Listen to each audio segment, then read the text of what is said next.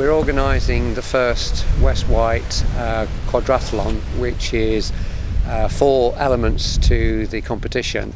It's a swim, a bike ride, a kayak, and a run, and those are the four elements.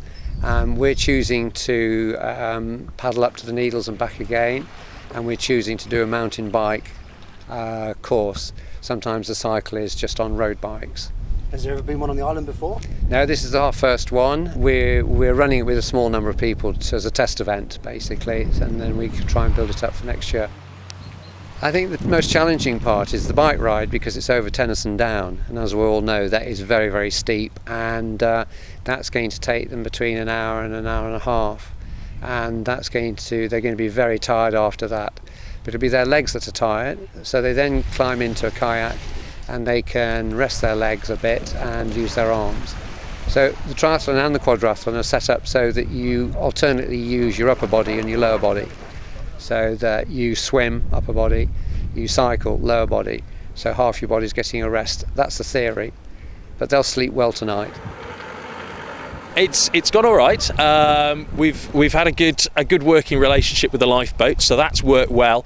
Uh, the the timings have worked well. Um, the the the way it's all fitted together in terms of all the other all the other legs have worked well. Um, we've uh, we've supplied boats for people to make sure that we've got a minimum standard of equipment going on the water, uh, and that's been one of the key safety issues, I think. Obviously, it's been very windy these days. Is Yes. that going to be a problem? Uh, no, the forecast miraculously has uh, dropped to an easterly, so the whole island is sheltering the kayak.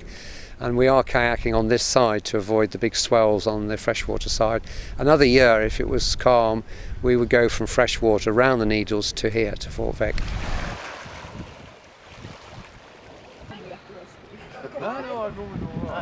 Oh,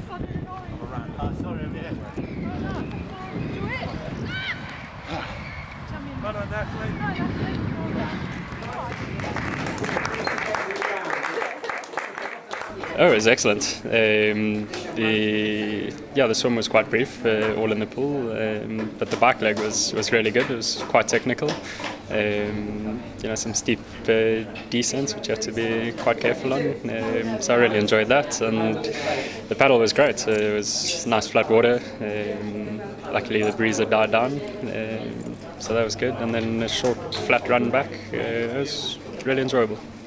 So anyone watching this that thinks they'd like to try it, what would you say to them? Oh, definitely give it a go. It was, uh, yeah, it was a great experience. Um, you know, lots of different aspects to to the race, which which made it, uh, you know, different and, and fun.